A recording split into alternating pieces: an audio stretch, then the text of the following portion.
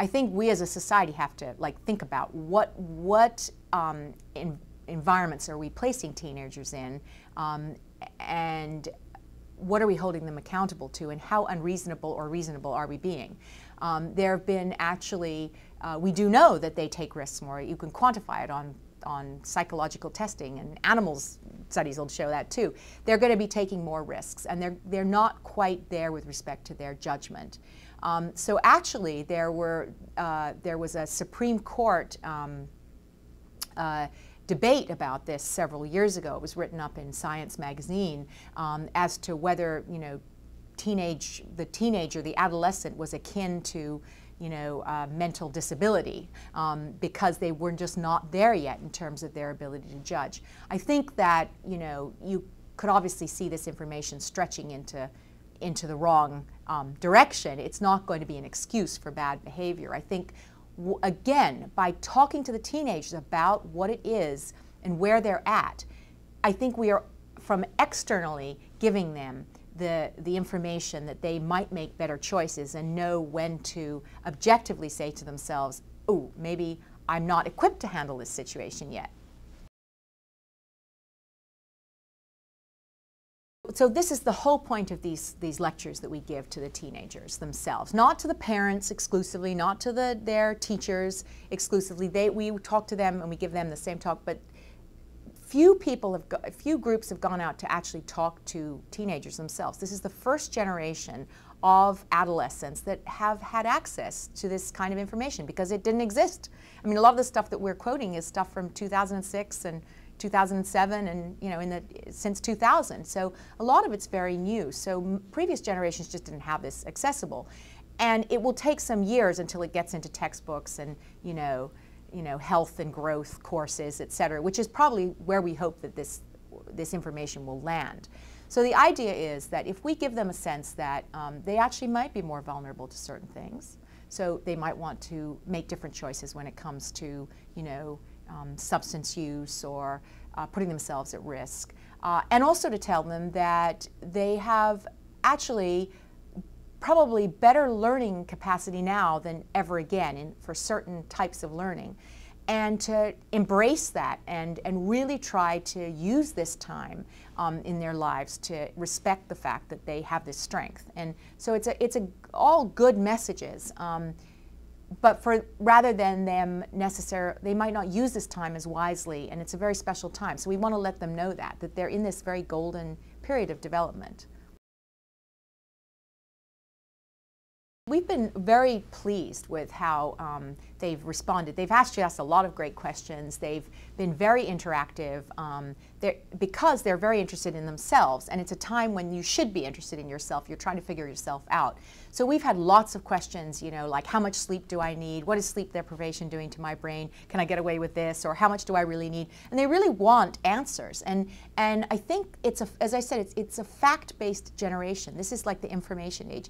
They are like brokering information all day long. This is like, this is what they, this is big issue for them. And, and so you give them this information about themselves, and some of it is enlightening to them. I mean, we had a lot of like, oh, so that's why I do that. You know, oh, that's da da da. You know, and that's been um, a lot of that kind of response. I've had other. Um, you know, responses from girls saying, well, should we be, you know, in different classrooms from boys, and boys asking, well, you know, um, why are boys more aggressive than girls, and you know why can't we sit down as you know and stay and sit and read these books as easily as our you know the girl classmates can.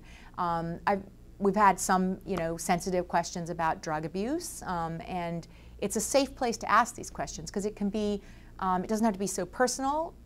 It can be hypothetical, but we have the we have facts for them. So the parents, um, again, were, uh, many of them came back to us with, oh, this is amazing. You've explained why, you know, my kid is this way, and now I'm going to be a little bit more uh, patient with that kid. I realize that the kid is not, you know, this hateful person who's constantly, you know, trying to reject me or being, you know, forgetful or that it's really not necessarily their fault that they are this way and to, you know, sort of embrace their energy, but understand that some of these things they do aren't really their fault. You know, they, they really are not we're, we tend to, as parents, um, because they appear adult-like in size, think that they should be responsible for themselves and be showing up at the appointments on time and this, that, and the other, and they make mistakes, and they're not there yet. So I think it, it has, the, the parents are like, oh, this, I will, I can just back off a little bit, and that's been really um, nice to see. This is an area, as I said, has been, it's not been neglected, but it's sort of just been overlooked. I mean, there was way more excitement, you know, looking at the infant brain and, and then at the senescent and older adult, you know, the, the degenerating aspects of, you know, later life. That's, a lot of money has gone into those two extremes because they've been very pressing and big healthcare burdens, et cetera.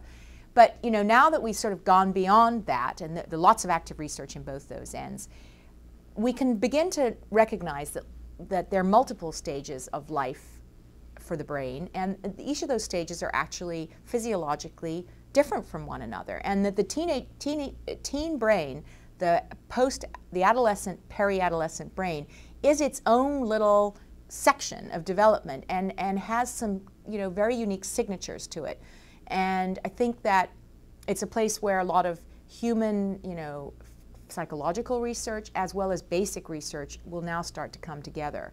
Um, we kind of needed the two ends of life to sort of pit, anchor us so that we could then like move in and understand that there's a huge difference from early life to late life. So now, and from early life to adult. So what's going on for the toddlers? What's going on for the school age kids? What's going on for the you know tween generation? What's going on for the mid teens? You know, and what's going on for the early adults? So the early adults, you know, brain development does not finish until sometimes 23, 24, 25. Um, so there's there's a whole story there that's probably yet to be mined. So I think it's going to be an area that um, will have impact on our education, our social policies, you know, health policies. We already know, for instance, that you know, drugs that are used for treatment um, for, for adults, for psychiatric conditions, for instance, for depression, we already know. We saw that in the news two years ago with, you know, the effects of some of these antidepressants on the teen brain were unexpected. It was not really even on anybody's radar screen that these, you know, people who are weighing the same amount as their adult counterparts would have any different need of medication compared to the adults. We could understand that a small child would have a small need a smaller dose, they weigh less, et cetera. But teenagers were kind of just lumped in with adults, and I think that's a really good example of why it's going to have impact on, on medical therapy, I think, too.